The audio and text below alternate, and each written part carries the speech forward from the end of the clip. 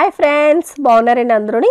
ఈరోజు క్లాస్లోని మనకి silk blouse బాగా స్మూత్గా ఉండి సిల్క్గా ఉండి ఉన్న క్లాత్ని కటింగ్ చేసేటప్పుడు ఎలా కటింగ్ చేయాలి పిన్స్ పెట్టి కటింగ్ చేయాలి అని చెప్పేసి నేను ఒక క్లాస్ చేశానండి. అది కూడా ఒకవేళ మీకు డౌట్ ఉంటే కనుక చూడొచ్చు.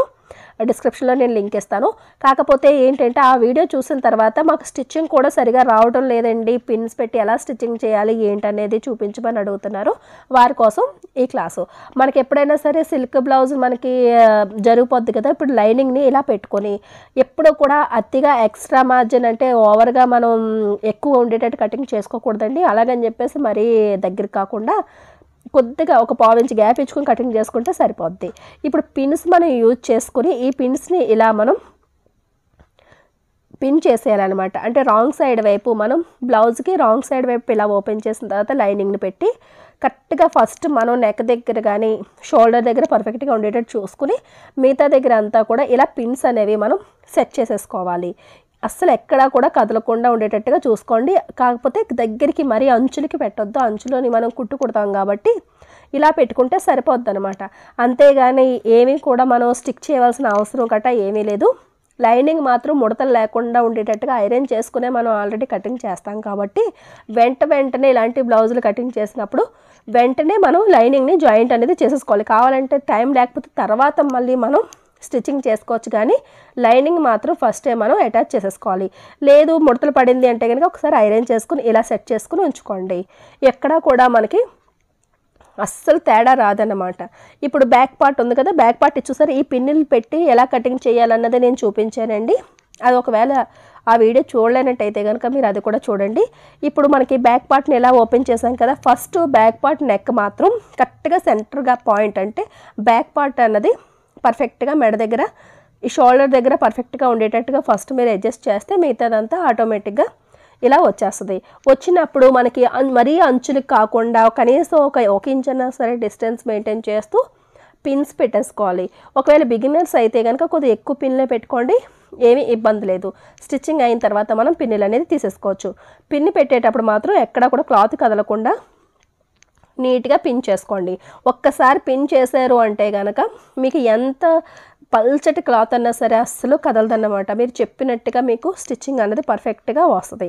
చూస్తున్నారు కదా ఇలాగ మనం పిన్లు ఎక్కడికక్కడ పెట్టేస్తే కదలకుండా ఉంటుంది. అదే బాగా అలవాటు అయిన వాళ్ళైతే అక్కడక్కడ పిన్నులు పెట్టుకుంటే సరిపోతుంది లేదు అని అనుకున్నాను కొద్దిగా ఎక్కువ ఒక రెండు మూడు పిన్నులు ఇంకా ఎక్కువ అయినా సరే మీరు పెట్టుకోవచ్చు. ఆమ్ రౌండ్ దగ్గర ఏంటి మన ఈ సైడ్ జాయింట్ల వైపు ఏంటి ప్రతి దగ్గర కూడా మీరు పిన్స్ అనేవి చూసారు. ఇక్కడ నుంచి ఈ మాత్రం పెడితే సరిపోద్ది. షోల్డర్ దగ్గర నెక్ దగ్గర ఒక మూడు వచ్చాయి. అదే రకంగా సైడ్ దగ్గర అటు ఒకటి పెట్టుకుంటే మీకు ఎక్కడ కూడా కదలదనమాట ఇప్పుడు ఇలా మనం ప్రతి పార్ట్ని కూడా మీరు ఏ ఏవేవైతే లైనింగ్ మనం అటాచ్ చేయాలనుకుంటామో చే హ్యాండ్స్కి ఏంటి ప్రతిదీ కూడా ఇలా పిన్స్ పెట్టేసుకోండి. ఇప్పుడు స్టిచ్చింగ్ చేసేటప్పుడు మెయిన్గా front part. Front part stitching చేసేటప్పుడు ఫస్ట్ మెడ నుంచి స్టార్ట్ చేసుకోండి. ఇలా స్టార్ట్ చేసి స్టిచ్చింగ్ చేసేటప్పుడు చూస్తున్నారు కదా నా అరిచేయి ఇలా కరెక్ట్గా మనకి క్లాత్ మీద ఉండాలి. ఇలా కరెక్ట్గా పట్టుకొని ఎక్కడ కదలకుండా ఇలా పట్టుకొని మనకి రౌండ్ ఎలా తిరుగుతుందో అలాగా క్లాత్ని మనం తిప్పుకోవాలన్నమాట.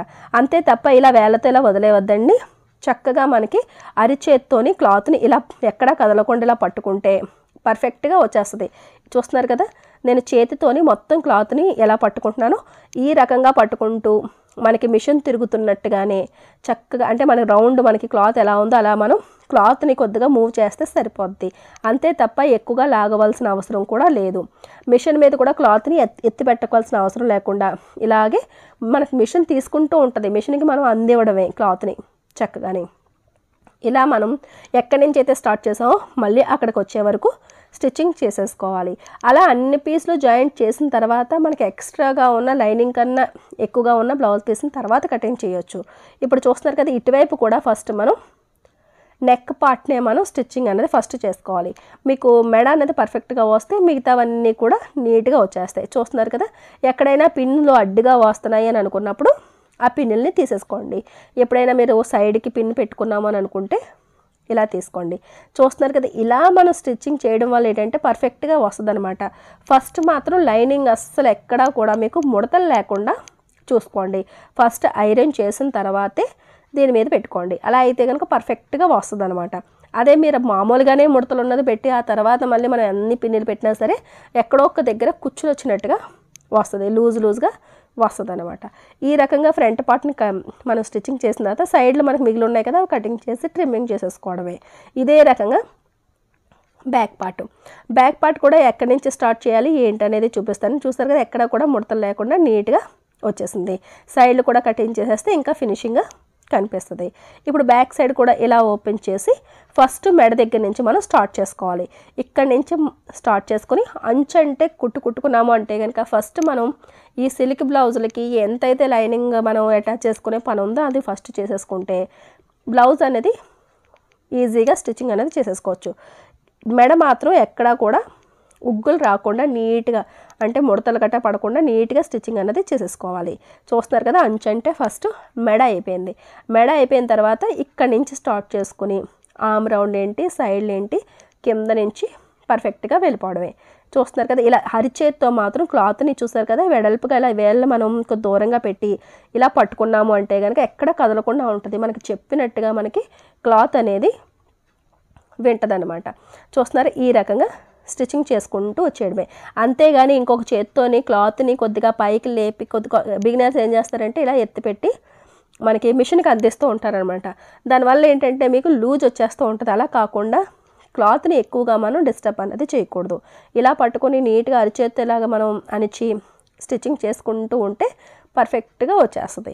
ఎంత మనం ఎక్కువగా కదిపితే అంత డిస్టర్బెన్స్ అన్నది వస్తుంది. సరేనండి? చూసారు కదా ఈ రకంగా స్టిచ్చింగ్ అనేది చేసేయాలి.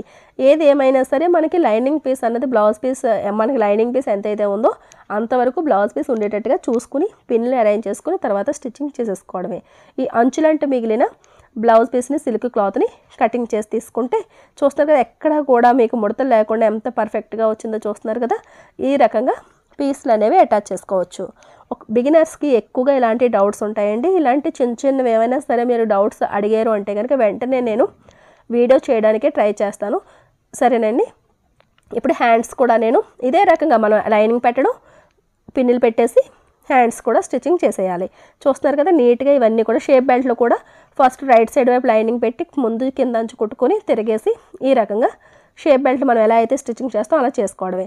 ఎక్కడైనా సరే చూస్తున్నారా ముడతలు కట్ట ఏమీ లేకుండా పర్ఫెక్ట్గా మనకి అసలు లైనింగ్ అటాచ్ చేసామన్న సంగతే తెలియకుండా నీట్గా ఉంది చూస్తున్నారా? ఈ రకంగా వస్తుంది అనమాట సరేనండి ఇప్పుడు ఏ లైనింగ్ పీస్లన్నా సరే ఎలాంటి క్లాత్లన్నా సరే మీరు ఇలాగే పిన్లు పెట్టి స్టిచ్చింగ్ చేస్తే మీకు పని కూడా ఈజీగా అవుతుంది అదే రకంగా మనకి ఫాస్ట్గా అవుతుంది అనమాట ఇలా మీరు ఒకసారి ట్రై చేసి చూడండి.